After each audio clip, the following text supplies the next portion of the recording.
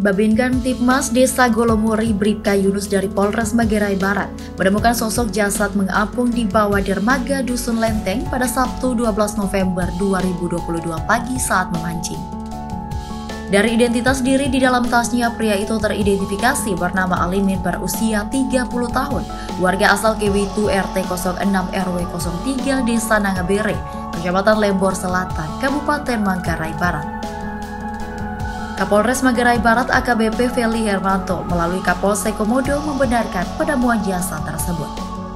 Teos menjelaskan, temuan itu dilaporkan Yunus kepada Kapolsek Komodo dan Kepala Satuan Reskrim Polres Manggarai Barat. Kapolsek Komodo bersama Kasat Reskrim dan tim identifikasi mendatangi tempat kejadian perkara dan mengevakuasi mayat tersebut ke Rumah Sakit Umum Daerah Komodo. Kasat Reskrim Polres Manggarai Barat AKP Ridwan mengatakan, Korban divisum dan diperiksa oleh tim identifikasi Polres Manggarai Barat bersama tim medis Rumah Sakit Umum Daerah Komodo. Penyidik kata Ridwan masih melakukan penyelidikan untuk mengetahui penyebab pasti kematian. Dia mengimbau masyarakat yang mengetahui informasi keberadaan keluarga korban melaporkan ke Polres Manggarai Barat.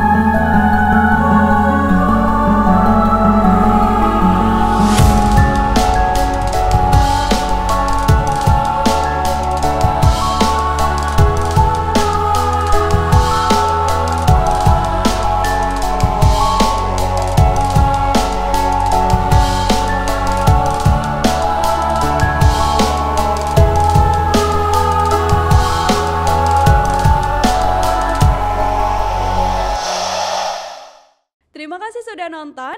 Jangan lupa like, subscribe, dan share ya.